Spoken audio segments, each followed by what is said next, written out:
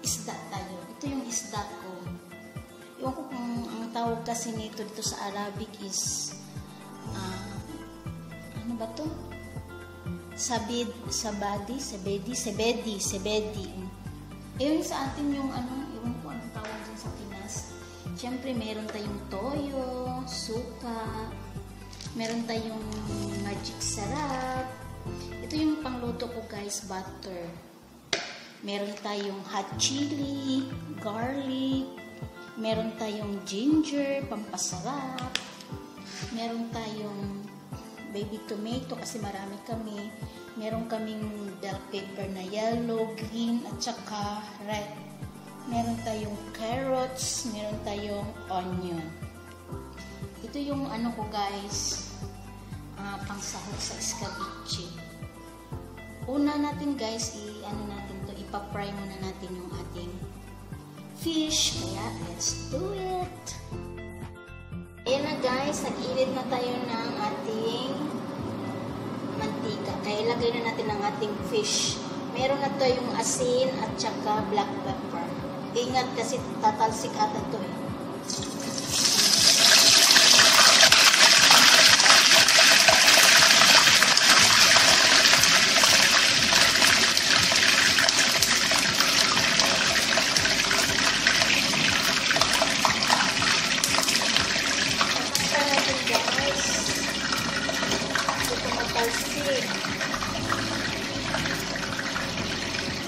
Tumatalsik siya. Hayaan muna natin siya mamaya.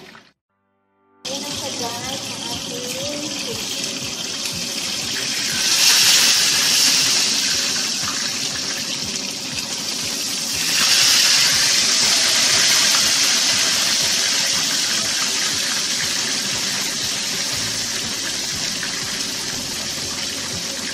Okay na siya. Kaya, tatanggalin natin siya. Ayan na guys. Aside muna natin kasi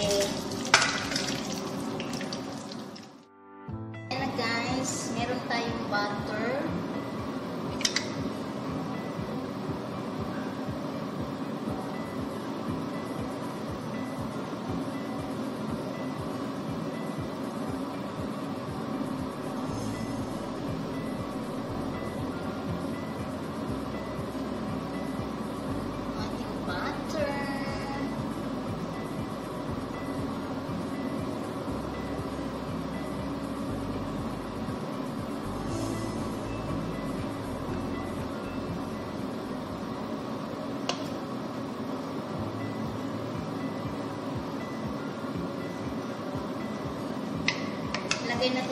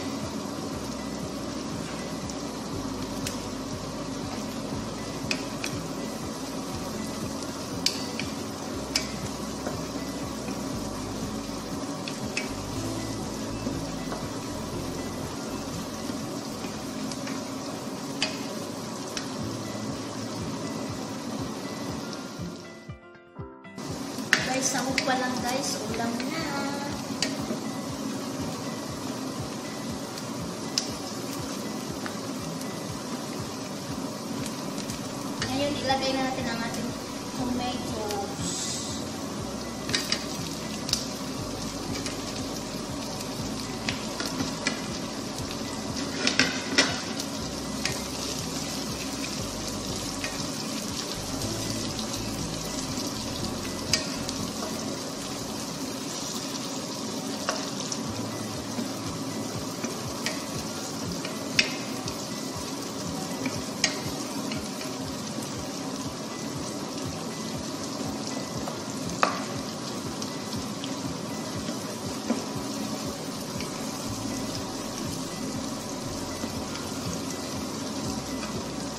Lagyan natin ng black pepper.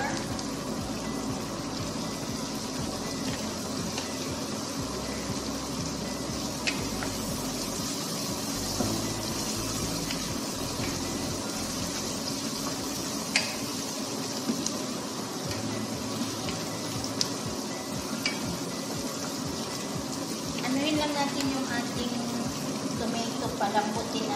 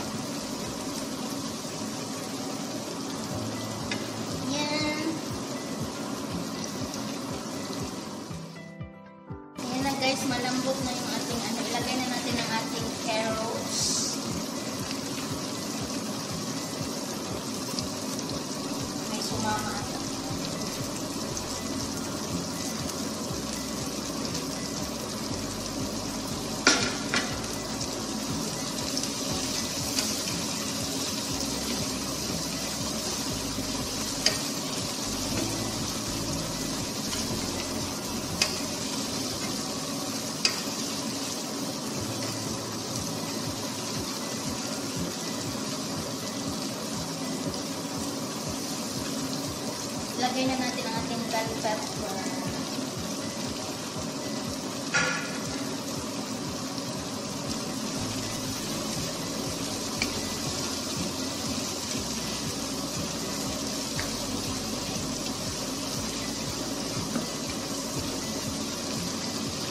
Lagay natin ang ating magic sarap.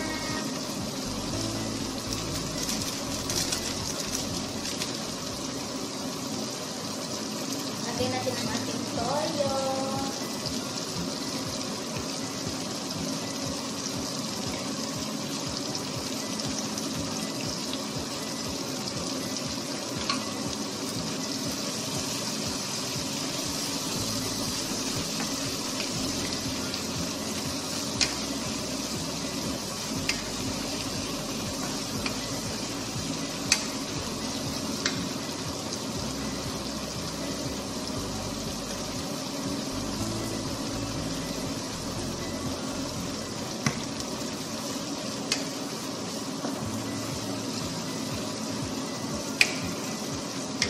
ating suka.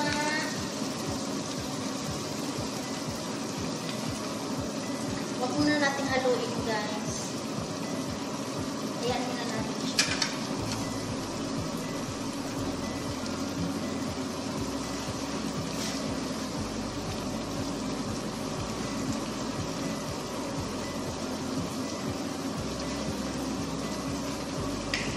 Lagyan natin ng ketchup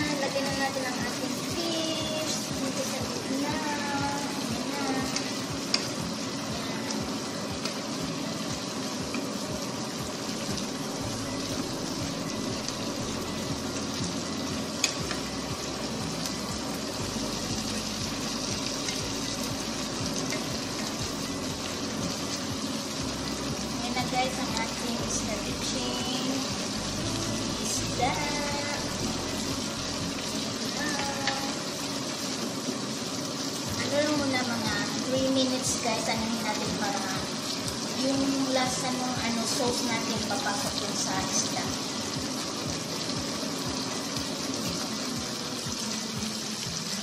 Para yung sauce niya doon pumapasok doon sa ano, nanunuot doon sa ano, isda natin para malasa yung isda natin.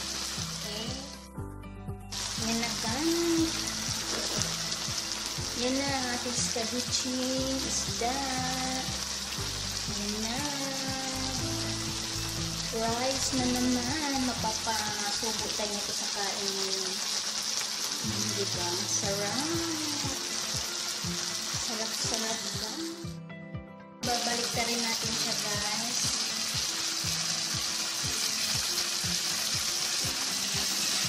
Balik pa rin natin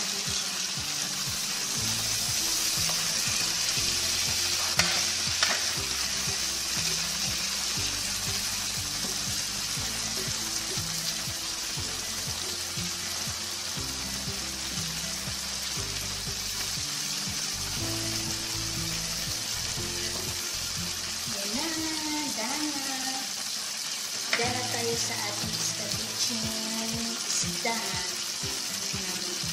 Kaya ano? Ewan ko anong pangalan nito sa dito. Kaya guys, thanks. Thank you for watching. Please like and share and subscribe my channel. Cooking Lane Kitchen. Bye-bye. And guys, lalagay na natin sa ating plato yung ating isda.